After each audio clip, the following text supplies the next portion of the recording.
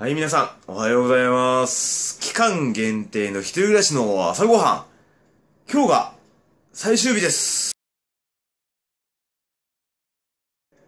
はい、というわけで、今日の朝ごはんは、こちらでーす。デンデンディンディンディンディンディンディンディンデ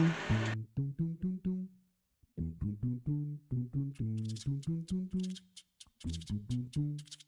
はい、改めまして、今朝のメニューはと言いますと、この通り、ハンバーガーです。手作りハンバーガー。これ、パンできました。僕ね、一回やってみたかったんですよ。この、ホットプレート。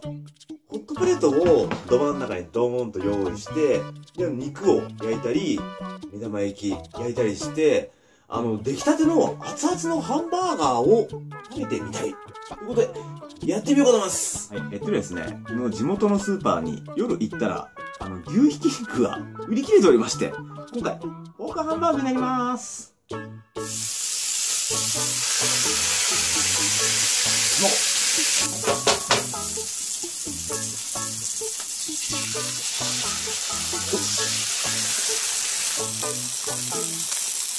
それでパンを切ります。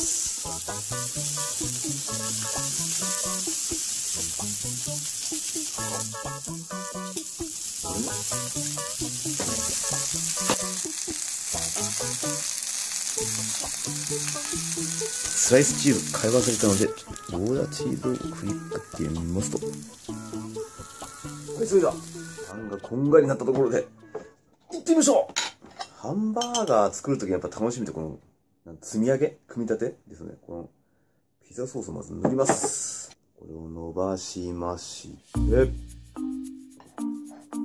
そして、よいしょ。いや、取れない。これを乗っけます。しょ。はい、トマト。トマト乗っけます。よいしょ。はい。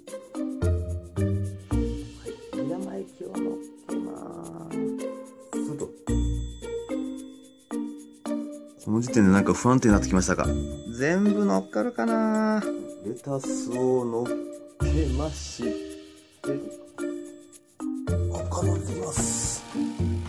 お最後、マヨネーズ。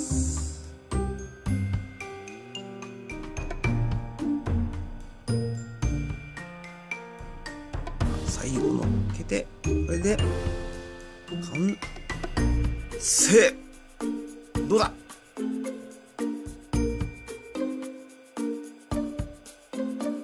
い、というわけできました。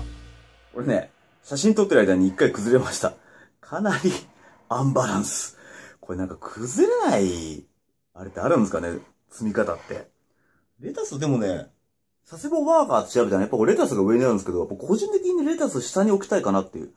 こんな感じで、いただいてみます。えか、あー、すごい。この、パンがカリってなんかこうなんていうの、持った感触がこれ、めちゃめちゃ嬉しい。崩れるな。崩れる危険あるな。よし定まりました。はい、いただいてみます。あ、すごい高さです。こうするとわかるかな？かぶりついちゃったら申し訳ない。すごい高さ。このね、下から上までかぶりつけない。いきます。うん。まい。あの、やっぱ、目玉焼きっていいですね。すごい目玉焼きがすごい幸せな気分になる。あれですね、あの、ポーポークパテっていうのかなあの、ポークハンバーガーってありですね。豚ひき肉美味しい。あの、牛肉よりも、なんかあの、焼いた時のあのカリカリ感があるんで、あの、ベーコンみたいな、カリッとした食感が味わえます。これ美味しい。こんな感じ。まあ、そんなこんなで、あのー、1週間以上、あの、一人暮らしをやったわけですけども、えー今夜、かみさんと子供たちが帰ってまいります。いやー、でもね、これちょっと皆さんにちょっとお礼を言いたい。あの、YouTube のおかげで、なんかご飯を作れた気がします。いやー、あのーずっとね、長くね、一人いた頃は全然そんなのなかったんですけども、やっぱりこう、ポコッとこう一人になると、いやー、寂しいもんですね。